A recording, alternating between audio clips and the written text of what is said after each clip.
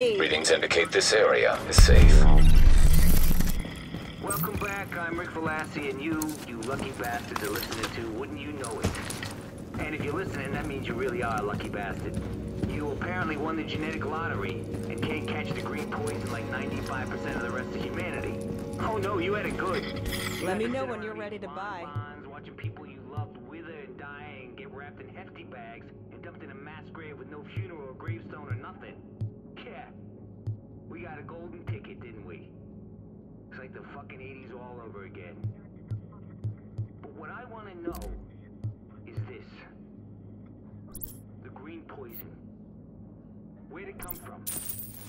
Some yuppie scum millennial helicopter mom refusing to give her kids a goddamn measles shot? I wish. I hate those morons. But this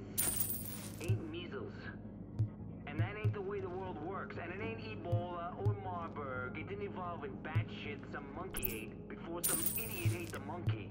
Come back real soon. I'll tell you where it came from.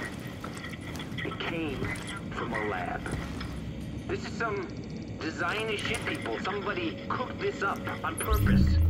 And, and maybe it got out by accident, or maybe they let it out Yo, check purpose. this out. But either way, if you don't think the federal government is involved in some fucked up way or other, then A, my sources, and B, you've been comatose for the last 60 years. Because God knows there ain't no advantage for people who love power in a situation like this, right? Nah.